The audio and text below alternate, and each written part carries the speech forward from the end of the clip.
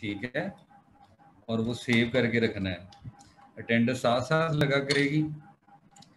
ठीक है, और मैंने जो पैटर्न बताया है रोल नंबर्स का, पहले रोल नंबर्स स्पेस और फिर आगे नाम। ठीक है, इसी तरह अटेंडेंस लगेगी, मैं किसी टाइम पे भी ना हाजिरी ले सकता हूँ। तो इस पैटर्न के ऊपर किसी का नाम सेव नहीं हुआ तो वो खुद जिम्मेदार है, मैंने उसकी एबसेंट लगा देनी है, बेशक पूरा वो टाइम पे बैठा रहे। बाद में अटेंडेंस किसी की शॉर्ट हो गई, खुद जिम्मेदार है, मैं नहीं। कोई और बात पूछनी है तो बता दें। बाकी ऐसे पिछले सेमेस्टर में हमने कोर्स साथ पढ़ा है तो कोई बात, कोई कंफ्यूजन रहती है कोई बात नेक्स्ट सेमेस्टर में कोई और कोई बात करना चाह रहे हैं, कोई सजेशन देना चाह रहे हैं तो बता दें। ताकि एक ही दफ़ा जो है स्मूथली फिर स्टार्ट किया जा सके।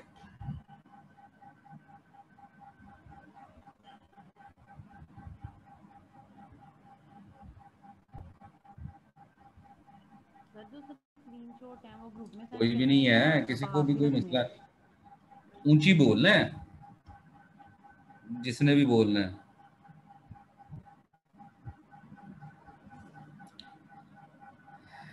जिस टाइम पे मैंने अटेंडेंस ली उस टाइम पे जो एबसेंट हुआ तो वो एबसेंट ही है जो मर्ज़ी हो जाए।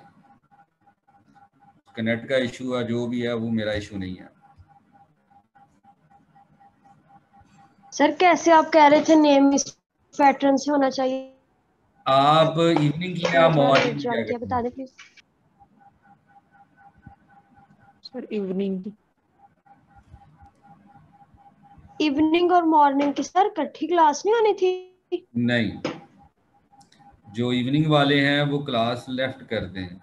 चले फ़िलहाल आज ले लेना नेक्स्ट टाइम ख्याल कीजिएगा। मॉर्निंग की अलग है इवनिंग की अलग है। Okay sir. सर मुझे लगता है फिर मैं अकेली हूँ इधर फिर मैं भी लेफ़्ट कर नहीं नहीं सारे ही हैं सारे ही है। सारे ही हैं।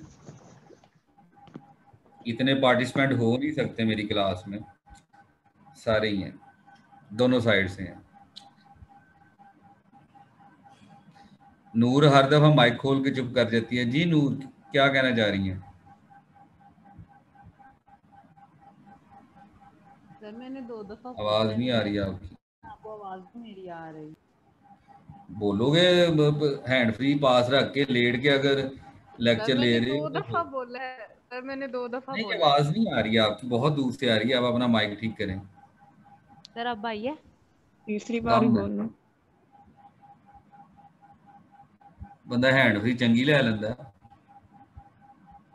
सर जी 500 वाली है ਹਵਾ ਵੇਖੀ ओरिजिनल ਇਹ ਹੀ ਆ ਕਿਸੇ ਨੇ ਤੈਨੂੰ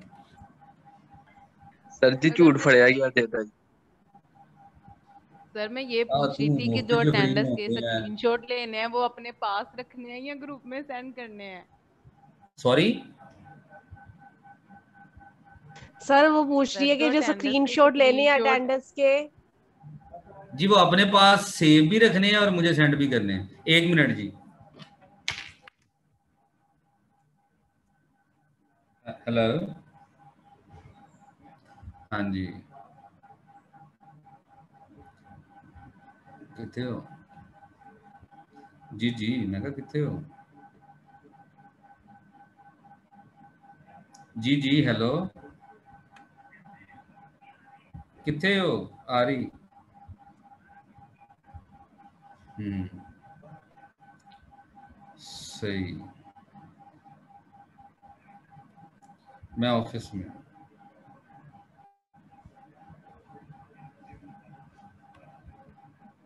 हम्म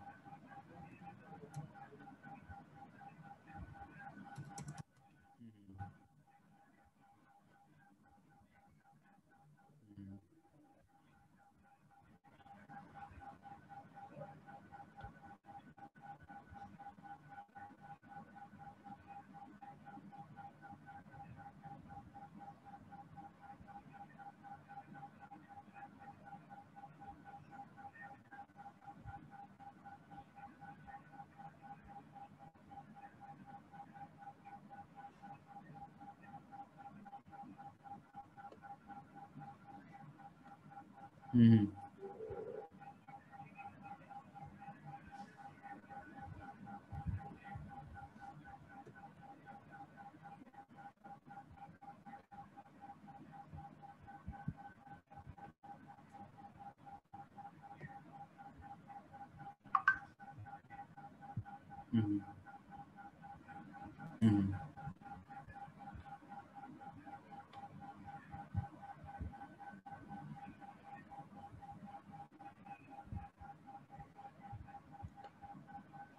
हम्म।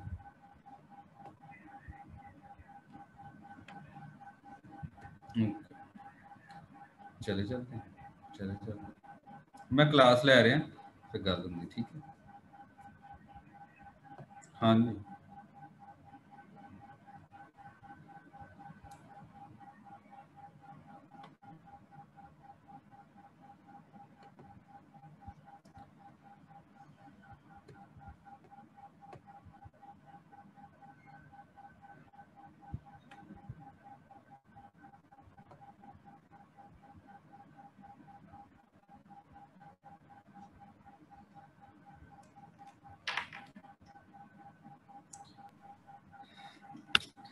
जी, मैंने ना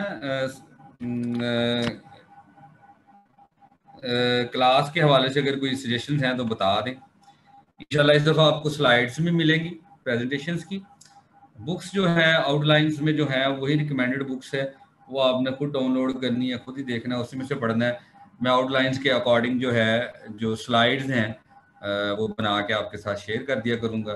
उसी से लेक्चर है, उसी से समझाया करूँगा और उसी से डिलीवर किया करूँगा। ये तरीक़ेकार होगा। नोट्स आपने खुद बनाने हैं ठीक है अटेंडेंस साथ साथ और कुछ असाइनमेंट्स कुछ असाइनमेंट्स कह रहा हूँ। असाइनमेंट्स जो होमवर्क है होमवर्क और असाइनमेंट में फ़र्क हुआ करेगा लेकिन जो होमवर्क है वो चेक हुआ करेगा लाजमी। तो आप लोग अपना एक अलग से रजिस्टर बना लें उसके हवाले से अ, उसको देखते रहा करेंगे। फर्दर मुझे क्लैरिफाई करने दें क्योंकि मॉर्निंग और इवनिंग की जो क्लासेस हैं वो इकट्ठे कहा गया है। ठीक सॉरी अलग अलग से कहा गया है। तो आज इंट्रोडक्टरी रख लें। बाकी जो है, इंशाल्लाह जो है नेक्स्ट टाइम से जो है वो अलग अलग जो है वो काउंट हो जाएगा कंसिडर हो जाएगा।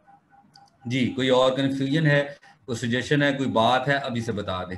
रिकॉर्डिंग का जो इशू है रिकॉर्डिंग आपने खुद करनी है। आप कर लें, आपके मोबाइल स्क्रीन रिकॉर्डिंग आप कर सकते हैं, आपको अलाउ है। ठीक है, जिन मोबाइल्स में होती है, वो शेयर कर दें, इस तरह कर लें। स्क्रीन शॉट आपको कोई चीज़ है, मैं आपको स्लाइड्स जो हैं वो प्रोवाइड कर देंगे। होप सो जो पूरे वीक में पढ़ना होगा, वो स्लाइड्स पहले मिल जाया करेंगी। कोई बात पूछनी है तो पूछ लें।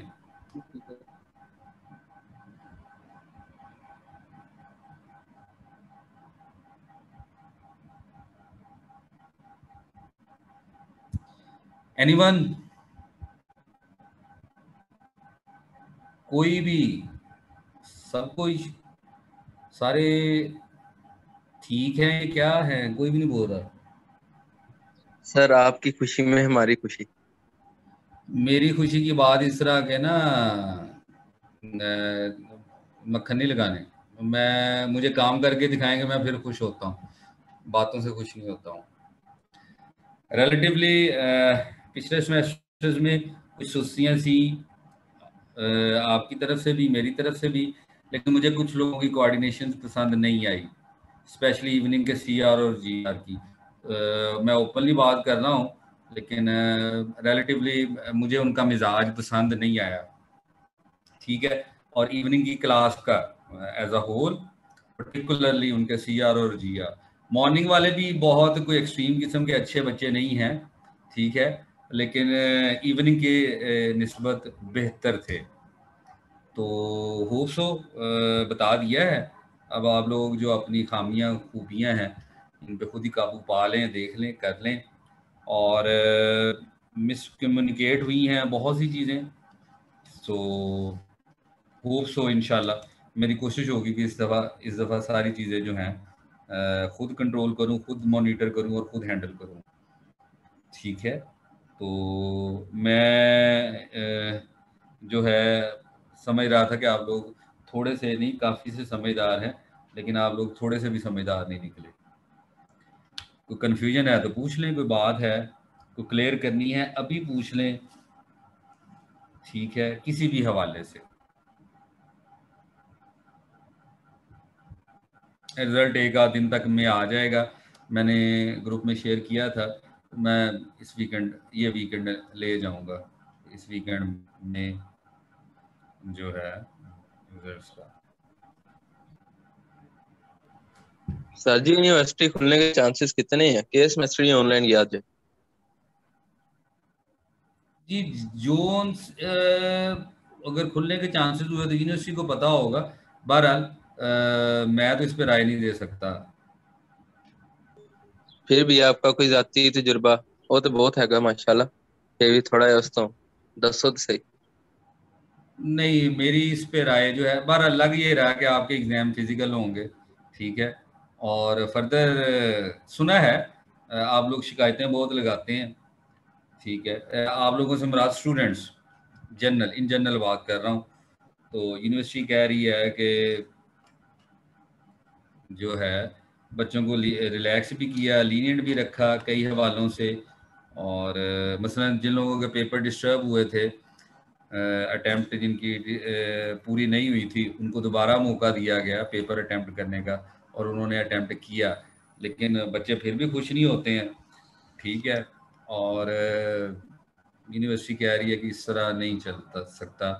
ठीक है। हमें भी उन्होंने स्ट्रिक्ट कर दिया अमाउंट कर दिया। उन्होंने कहा, जी तुम भी थोड़ा जहा सीधे हो जाओ। ਅਸੀਂ कहा जी हो जाते कहते क्लासा लैदा लैदा लो मैंने कहा जी ठीक है जी मैंने नहीं कहा हम सबने कहा ठीक है जी जिस तरह क्योंकि हम लोग तो मुलाजिम लोग हैं और हमें जिस तरह इंस्ट्रक्शन हैं गाइडेंस है हमें तो हम वैसे ही करेंगे सवाल ये किया गया कि पूरा हफ़्ता में क्लासेस होंगी चार दिन क्लासेस होंगी जी यूनिवर्सिटी ने टाइम टेबल स्केजूल जो है पर क्लास तीन क्रेडिट आर वाली जो है वो फोर वीक में जो है कन्वर्ट कर दी है फोर्टी एट लेक्चर्स जो हैं, हर हफ़्ते में चार लेक्चर्स लेने हैं। नया टाइम टेबल बन गया है। फर्दर उसमें टीचर्स के हवाले से अभी कुछ रहती है तो उस हवाले से जो है एक दो दिन में क्लियर होकर आपको आ जाएगा। ठीक है, इसको इंट्रोडक्टरी समझें तो इस वीक को। करें स्टार्ट करें? जी सर अच्छा सब्जेक्ट्स हम मैकेनिक्स पढ़ेंगे। इसको थोरेटिकल मैकेनिक्स भी कह दिया जाता है। तो उस हवाले से इसको हम देखेंगे। इससे पहले भी आपने दो दो कोर्स पढ़े हैं ना मैकेनिक्स के मैकेनिक्स वन और मैकेनिक्स टू जी सर जी, जी सर। दो कोर्स पढ़े हैं। कोई बता सकता है मैकेनिक्स वन और मैकेनिक्स टू में क्या किया था? ओवरव्यू लेना है। मैंने आपका टेस्ट नहीं लेना है। ओवरव्यू लेना है। उसमें आपने क्या देखा था? ताकि मैं आपको फ़र्क बता सकूँ कि इस सेमेस्टर में हम क्या पढ़ेंगे। वन बहुत आवाज़ ठीक नहीं आ रही। अब ठीक है सर अब ठीक है सर नहीं यूएसबी आपकी ना वो ठीक नहीं लग रही। तरफ़ ठीक है बात नहीं कम ही आ रही है। और अगर ठीक होती तो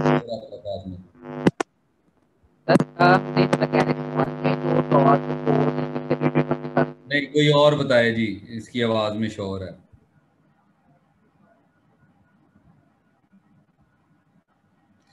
तीसरे और चौथे सेमेस्टर में पढ़ा है ना कोर्स मैकेनिक्स का? जी सर कोई और नहीं है जिसका माइक बेहतर हो? जी सर तीसरे और चौथे में पढ़ा। तीसरे चौथे। क्या क्या पढ़ा था? को ओवरव्यू देने को अंदाज़ा हो जाए मुझे भी। हम्म। सर वो पढ़ी थी डायनामिक्स पढ़ी थी। काइनेटिक्स और काइनेमेटिक्स हम्म। ऑसिलेटरी मोशंस ये चीज़ें थी सर। अच्छा इन जो लफ्ज आपने बोले इनका मतलब पता है? जी सर। मसलन क्या क्या मतलब है इसका?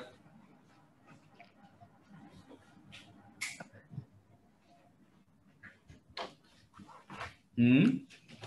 वो ऑसिलेटरी मोशन जो to and fro motion dynamics जो से study of jets in motion kinetic और काइनेमेटिक में वो होता है। एक पे हम फोर्स की वजह मोशन की वजह को जानते हैं एक में नहीं जानते। और?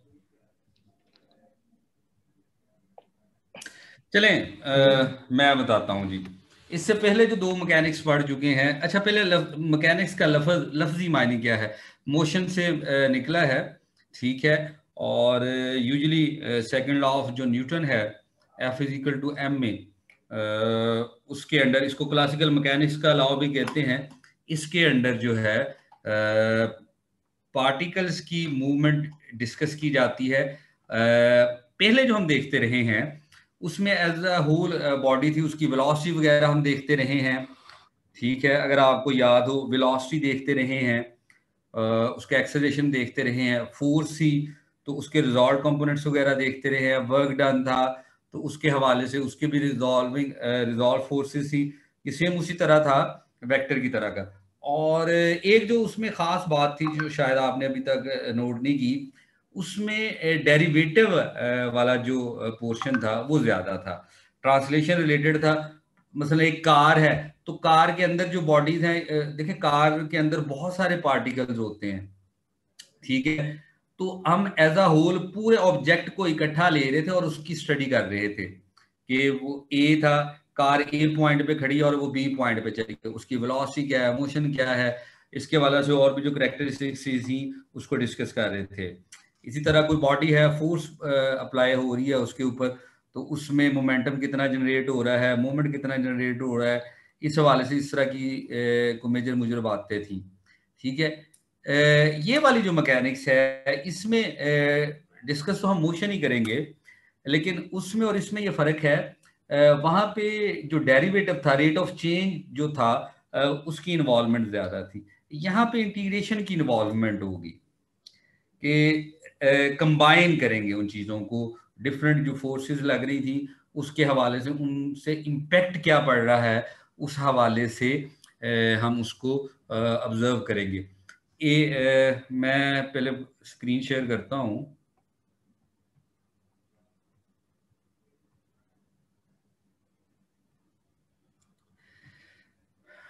अच्छा जी। ये कोई बॉडी है रिजिड बॉडी है। रिजिड बॉडी से मुराद ये है कि जिसकी शेप चेंज ना होती हो। उनके पार्टिकल्स के दरमियान जो डिफरेंस है ये डेफिनेशन वगैरह और डिटेल जो है इनशाला जो नेक्स्ट क्लास से पहले जो है ना मैं ना स्लाइड शो किया करूँगा। मैं कोशिश करता हूँ आउटलाइंस भी ग्रुप में शेयर कर दूँ अभी थोड़ी देर में। ठीक है? रिजिड बॉडी है। रिजिड बॉडी से मुराद ये होता है कि ड्यूरिंग मोशन कोई से भी जो दो पार्टिकल्स हैं कोई से भी उस बॉडी के ऊपर, कोई से भी दो पॉइंट्स हैं, उनके दरमियान जो डिस्टेंस है, वो कांस्टेंट रहे फिक्स रहे, कम या ज़्यादा ना हो। एक बॉडी है, अगर उसके पॉइंट्स के दरमियान फासला कम या ज़्यादा होता है तो वो रिजिड बॉडी नहीं है। सॉलिड कह ले, ये रिजिड होता है, इसमें जहाँ पे पार्टिकल फिक्स हैं, वहीं पे रहते हैं। मोशन में मूव करते हुए, उस बॉडी के ऊपर जो पॉइंट्स हैं, उनमें फासला नहीं चेंज होता। अगर उस पॉइंट बॉडी के ऊपर जो दो पार्टिकल्स हैं, अगर उनके दरमियान डिस्टेंस में फ़र्क आ जाए तो वो रिजिड बॉडी नहीं है। तो रिजिड बॉडी कोई भी लकड़ी का ब्लॉक हो सकता है, पत्थर हो सकता है, गाड़ी है सक्स कोई भी सॉलिड चीज़ जिसकी शेप जो है एज सच चेंज नहीं होती। तो जब वो मूव करेंगे सपोज़ इस तरफ़ को, इस डायरेक्शन में अगर वो मूव करते हैं तो मूवमेंट के लिए उसकी जो मोशन है अंडर सम फोर्स होगी, क्योंकि फोर्स लगने की ही वजह से उसमें जो है तो जो फोर्स उसके ऊपर अप्लाई हो रही है वो मोशन में कन्वर्ट हो जाएगी। इससे जब आप के माइंड में हो हमारे पास न्यूटन का जो सेकंड लॉ है, वो होता है F is equal to M A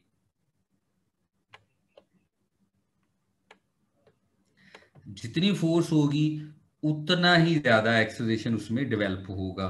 उसमें ही रेट ऑफ़ वेलोसिटी में उतना ही रेट ऑफ़ चेंज होगा उसकी मोशन में, क्योंकि मोशन किसी चीज़ की भी जो डिस्क्राइब की जाती है तो वो स्पीड और डायरेक्शन दोनों के हवाले से डिस्कस की जाती है और उसको वेलोसिटी कहा जाता है। वेलोसिटी जो है, वो किसी बॉडी की, किसी पार्टिकल की मोशन को डिस्क्राइब करती है।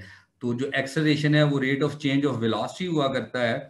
तो ये जो रेट ऑफ़ चेंज है, ठीक है, ये उतना ही ज़्यादा होगा जितनी आप उसके ऊपर फोर्स अप्लाई करेंगे। तो ये मेजर इसका है इसको लॉ ऑफ़ मोमेंटम भी बोलते हैं। मोमेंटम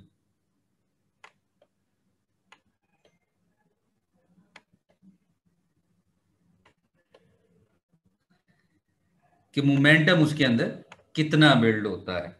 किसी को मोमेंटम की डेफिनेशन आती है?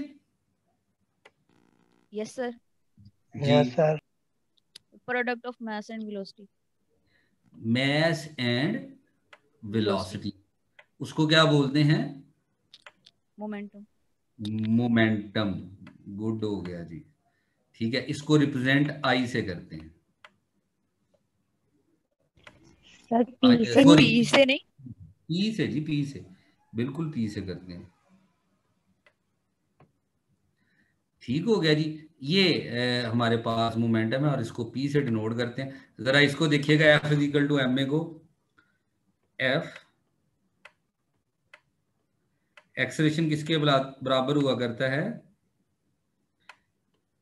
Rate of change of velocity velocity के डेरिवेटिव के। जी ऐसे ही है? जी सर। हाँ जी ये वेक्टर है। ठीक। ऐसे ही होता है। मैस जो है ये कांस्टेंट है। मानते हैं कि कांस्टेंट है? मैस कांस्टेंट है या नहीं? जी सर। जी सर। रिजिड बॉडी का मैथ कांस्टेंट होता है। ठीक है? तो ये मैथ डेरिवेटिव के अंदर भी जा सकता है। जिस तरह कांस्टेंट कॉमन ले सकते हैं इस तरह मल्टीप्लाई भी किया जा सकता है। वो किया जा सकता है कि नहीं? जी सर जी सर। मैं चेक कर रहा हूँ कोई कौन कौन सोया हुआ है। नेक्स्ट टाइम ख्याल कीजिएगा बल्कि ख्याल क्या कीजिएगा ऐसे ही होगा जिन्होंने बेल वूल करना है ना जरा तैयार श्यार होके बैठ जाया करे कैमरे ऑन हुआ करेंगे जी सबके। ठीक है एम वी लिखा हुआ है डी पी ठीक है एम वी आपने खुद ही बताया मोमेंटम के बराबर है।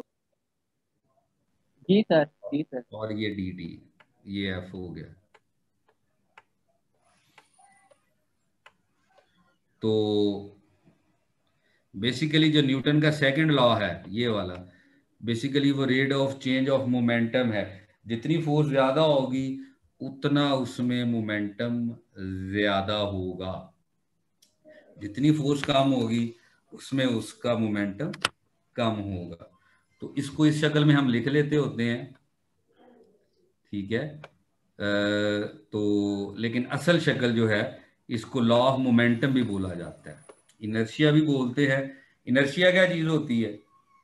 सर रेजिस्टिविटी होती है। हाँ जी। सर रेजिस्टिविटी होती है हाँ। जी। Sir resistivity resistivity Usman mic नया ले लो अच्छे वाला आवाज़ नहीं आती।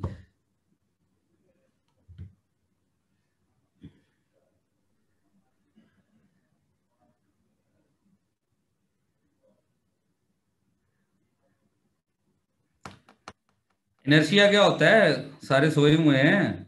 सर किसी भी बॉडी की वो खासियत जो अपने खिलाफ लगने वाली तब्दीली की मुजाहमत करती है। मुजाहमत करती है। और ये जितना मैच ज़्यादा होगा उसका इनर्शिया उतना ज़्यादा होगा।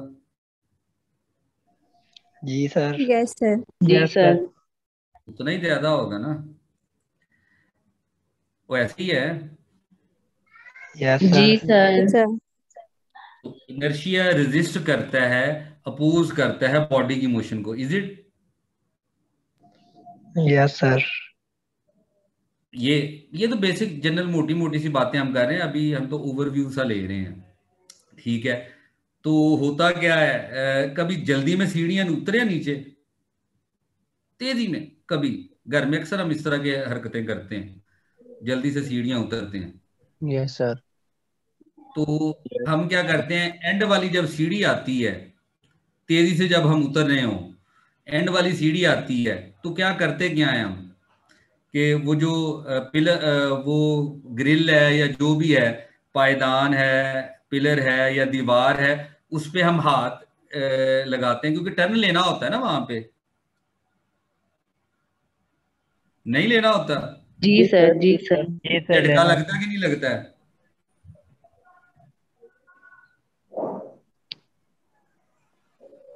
हाँ जी सर। यकदम सीढ़ियाँ उतरते हैं तो एंड वाली सीढ़ी पे अपनी मूवमेंट को कंट्रोल करने के लिए हम कोई ना कोई चीज़ पकड़ते हैं ग्रिल पकड़ लेते हैं ऐसे ही करते हैं ना तो उस वक्त हमें झटका लगता है कि नहीं लगता है?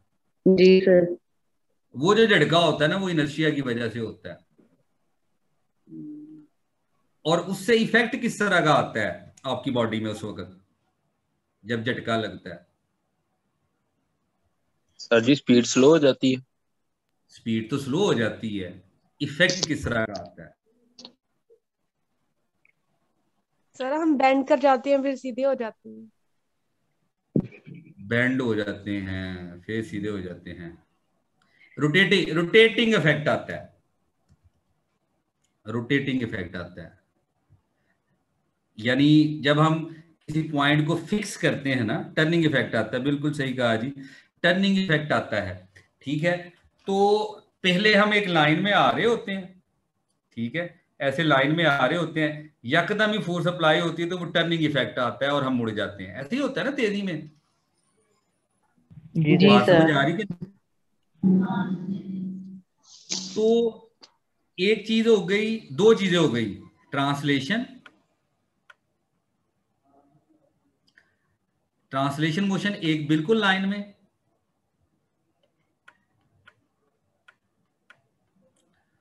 और एक होगी रोटेशन।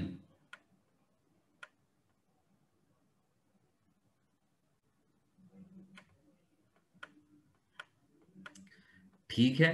तो इन दोनों को इकट्ठा स्टडी करें तो इसको जनरल मोशन बोलते हैं। क्या बोलते हैं?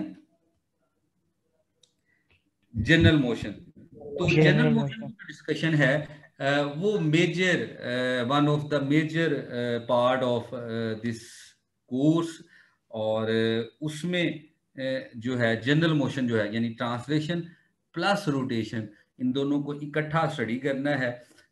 ये एक मेजर डिफरेंस है। जो पहले आपने जो मैकेनिक्स के दो कोर्सेज पढ़े हुए हैं। दूसरा इसमें मेजर इसमें मेजर ये है कि ये जो इम्पैक्ट है टर्निंग इफ़ेक्ट आता है, ठीक है, जो इनर्शिया आता है तो उससे जो टर्निंग इफ़ेक्ट आता है टर्निंग इफ़ेक्ट को मूवमेंट बोलते हैं। ठीक है?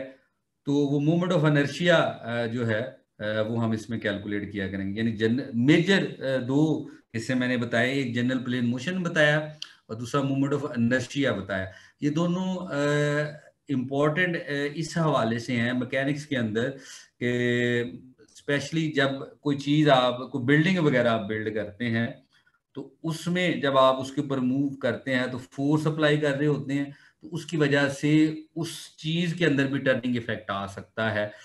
तो उस टर्निंग इफ़ेक्ट का ये असर भी हो सकता है कि मतलब कोई पिलर वगैरह या ब्रिज ब्रिज वगैरह है तो वो टूट सकता है। तो उसका वो हम मूवमेंट ऑफ़ एनर्शिया जो है वो कैलकुलेट करते हैं, ताकि जो टर्निंग इफेक्ट्स है जो इनर्शिया है, उसको कंट्रोल किया जा सके। टार्क कह ले मूवमेंट कह ले, एक ही बात है, सही बात है। उसी की शक्ल है टार्क और मूवमेंट तो ये दो इसके मेजर पोर्शंस हैं। बाकी आपने पहले देखा हुआ है, हो सकता है कि जो आउटलाइंस हैं, जो रिवाइज आउटलाइंस हैं मैकेनिक्स ये जो जो कोर्स है 508 एम टी एच तो उसमें अगर बेसिक डेफिनेशंस वगैरह भी हुई। बस आप पीछे इक्वेशंस ऑफ़ मोशंस पढ़ते रहे हैं फिजिक्स के अंदर। कितनी इक्वेशन ऑफ़ मोशंस होती हैं? तीन होती हैं? यस सर जी sir ji sir V F is equal to V I plus A T और फिर होती है two A S V I square minus one over T कुछ इस तरह थी मेरे दिन से निकली हुई है। और तीसरी होती थी V F square minus V I square is equal to two A S दूसरी थी S is equal to half VIP. I 80. That's 1 by तो हो सकता है वो वो भी अगर आउटलाइन में हुई तो उनको भी हम देखेंगे। तो मेजर जो हमारा यही है कि वो जो मूवमेंट है रिजिड बॉडी की उसको डिस्कस करना है और जो इनर्शिया क्रिएट होगा उसकी कैलकुलेशन और उसका इम्पैक्ट क्या है उसका इफ़ेक्ट क्या होता है और उससे क्या क्या असरात हो सकते हैं during motion of the body rigid body ये जो है, ये कह ले कि ये इसमें हमने पढ़ना है। इसमें इंटीग्रेशन इन्वॉल्व है। पहले जो दो कोर्स पढ़े हैं, उसमें आपके ज़्यादातर आपके इन्वॉल्व था डेरिवेटिव्स इन्वॉल्व थे। यहाँ पर कलेक्टिव है इम्पैक्ट है तो इस वजह से इंटीग्रेशन इन्वॉल्व है।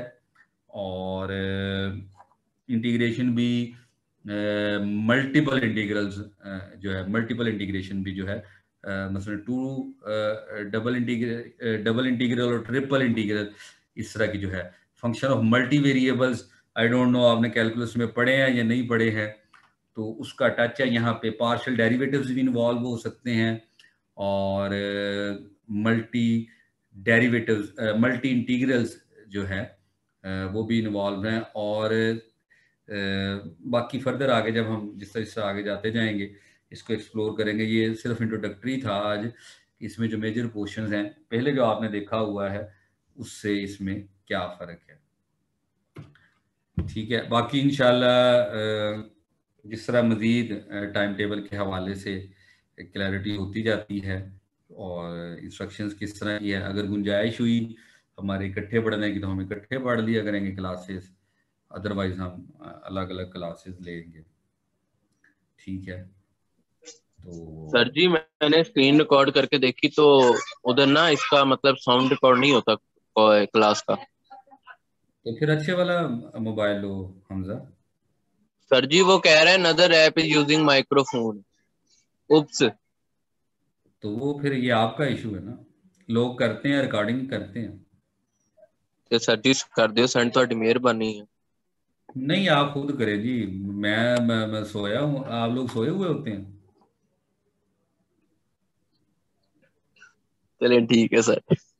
हाँ।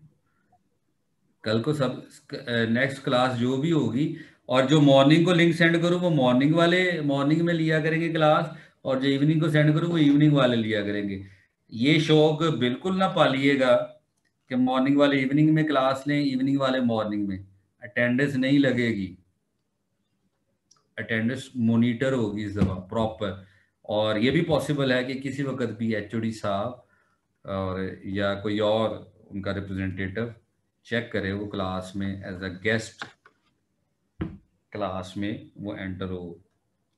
तो ये आप लोगों पे डिपेंड करता है ओके सर सर इवनिंग की इवनिंग की क्लासेस अब मंडे से होंगी आपकी जो क्लास पता नहीं टाइम टेबल आपके पास ही है सर न्यू टाइम टेबल हमें नहीं मिला अभी सर हमारे पास पुराना वाला है मेरी तो मेरी तो रिस्पॉन्सिबिलिटी नहीं ना आपको टाइम टेबल देना है तो बता दे ਹੁਣ ਨੂਰ ਦੀ ਆਵਾਜ਼ ਨਿਕਲ ਆਈ ਹੈ ਲੜਾਈ ਵੇਲੇ ਹੈ ਆਵਾਜ਼ ਨਿਕਲਦੀ ਹੈ ਅੱਗੇ ਪਿੱਛੇ ਮਾਈਕ ਖਰਾਬ ਹੁੰਦਾ ਹੈ सर जी उन्हें एंट्री ला के बोली देना इस वास्ते। तू बड़ा नज़र रखना तू हमजा मुड़दा नहीं। बाजियाँ वाले शौक पूरे नहीं होए अजे तक बाजियाँ ने गल्ला कर करके।